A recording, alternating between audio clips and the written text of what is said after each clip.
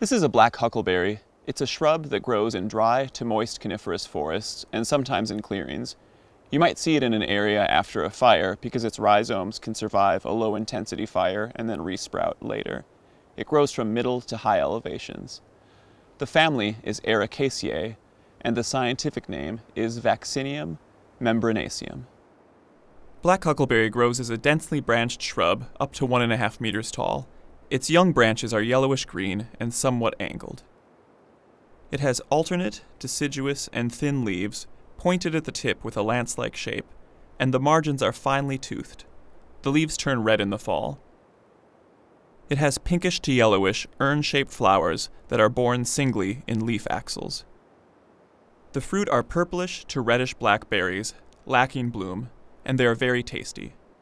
Black huckleberry can look like other vaccinium species if it's non reproductive.